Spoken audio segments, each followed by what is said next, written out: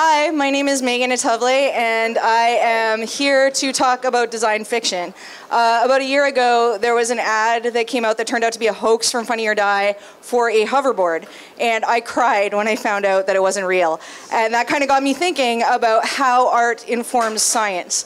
Um, basically, you can make people believe that something's real, even if it isn't, based on whether or not they want it to be real and how compelling your story is.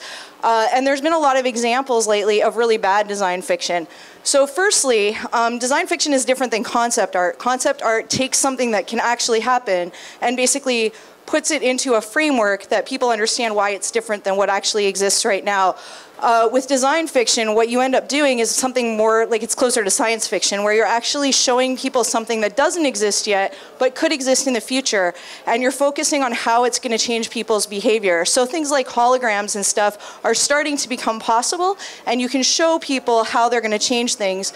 You can also uh, use it in technology. If you're making some new product, like a 3D printer that doesn't exist yet, people know what that is, but they don't necessarily know how new materials or new technology is going to change change the way people use that stuff. So there's a, there's a really cool, creepy um, film called Sight. If you haven't seen it, you should go check it out.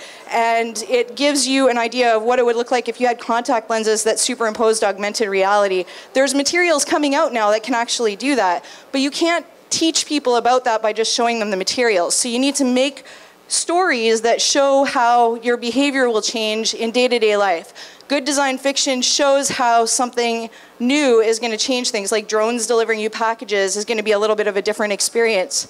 Jibo does a really good job of this. Jibo is a ro robot that assists with uh, day-to-day -day life. It replaces things like the phone um, by taking pictures for you. So it actually does facial tracking and it can like take pictures of you as you're walking around the room in their concept video, they don't actually mention Jibo replacing your phone. They just imply it in the way that the story is told. So there's a woman that's talking to somebody that's, or there's a robot that's talking to somebody that's making uh, something in the kitchen, and it basically conveys information from her phone. Uh, Cicret is like an example of super bad design fiction.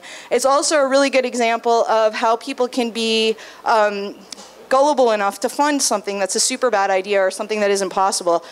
So what's wrong with this picture is that projectors can't project black. Like they're light. Light doesn't work that way. Um, so, so, people still funded this. It was like six six hundred thousand dollars or something that they raised, uh, based on this video that was badly composited and basically solved the problem of somebody using an awkward one finger touch screen that can't actually happen in the bathtub on their hairless skin on a light surface. So that's not really a problem, right? Um, but they still raised a bunch of money. So it still sort of begs the question, how like art inspires us. And we've seen this technology in like science fiction and cartoons. People really really want it whether they actually need it or not. So as responsible designers we need to think about that when we're creating a story. Another really big problem in design fiction is the point of view. So um, what's sort of questionable about this is in augmented and virtual reality this is not what you would see that guy in the head, like wearing the headphones or wearing the headset, that's what he'd actually look like. Really awkward. He can't see around him. He can't see the actual world.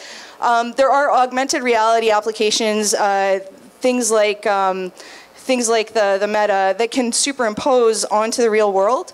But when you upsell things, this is a time machine. Um, Carl Sagan is sitting in it. When you upsell things, basically you're selling snake oil. Like you're creating something, an experience that can't actually be replicated. So in order to do compelling, realistic design fiction, you should be focusing on the product and not actually, or sorry, you should be focusing on the experience and not actually the product. This is a laser tag ad.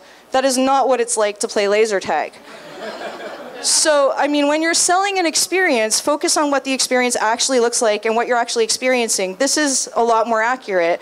Uh, you can go into a laser tag arena and they haze the air and you can actually see the lasers. It's pretty cool. You don't need to add like lightning bolts and weird sailor hats. You can totally sell an experience that's realistic by focusing on what's actually possible. And you know that you've done it right. Jibo has done it right because what's going to happen is people are going to end up not using their phones for things. And they've already told that in the story without actually saying, this robot will replace your phone. So good design fiction conveys a vision, but doesn't try to convince you the product exists. If it tries to convince you the product exists, it's snake oil. Um, by the way, that hoverboard actually does exist, but it only works on metal plates, and I think a lot less people would have been angry if they would have just come out and said that. Thanks.